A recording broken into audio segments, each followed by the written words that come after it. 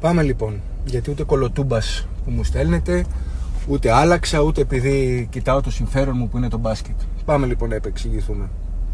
Πρώτον, το πρώτο δίκαιο είναι ότι αν γινότανε σε όλα τα, σε όλα τα γήπεδα, αλλά γινόταν χωρίς να, να, να ανασταλεί και να πάει μετά η τιμωρία του Ολυμπιακού, ουσιαστικά θα ήταν μια χάρη στον Ολυμπιακό, εκεί που έχει τέσσερις νομίζω τώρα και κλεισμένων των θυρών, ουσιαστικά να μην μετρήσει, γιατί και κλεισμένα θα ήταν όλα. Άρα αυτό το κομμάτι είναι δίκαιο και είναι το πιο σημαντικό. Γιατί έχουμε και πρωθυπουργό που είναι Ολυμπιακός. Και πήρε μια απόφαση η οποία τι κάνει, είναι δίκαια γιατί δεν εξισομοιώνει, δεν εξομοιώνει τις τέσσερις ε, αγωνιστικές. Πάμε παρακάτω. Πάμε στο θέμα μπάσκετ.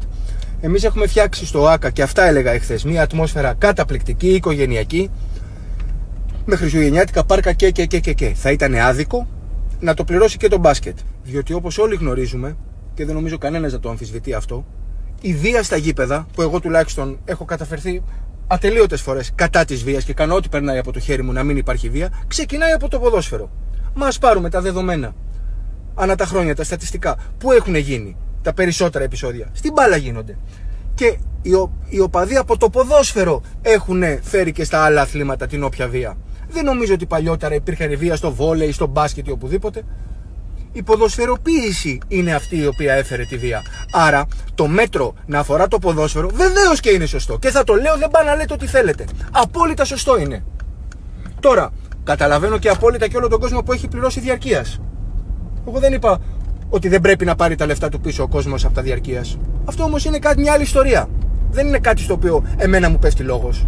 Εγώ λέω ότι είναι δίκαιο γιατί δεν ήταν μια χάρη στον Ολυμπιακό για να έχουν και οι υπόλοιπες ομάδες και κλεισμένων όπως ο Ολυμπιακός. Και για να ολοκληρώσω, το μπάσκετ αποδεδειγμένα. Ο Παναθηναϊκός έχει μπασκετικό κοινό ατελείωτα χρόνια τώρα και ο Ολυμπιακός, μπράβο του, έχει φτιάξει και αυτό στο δικό του Ολυμπιακό κοινό, το δικό του μπασκετικό Ολυμπιακό κοινό. Ατελείωτα sold out κάνουν στον Πειραιά.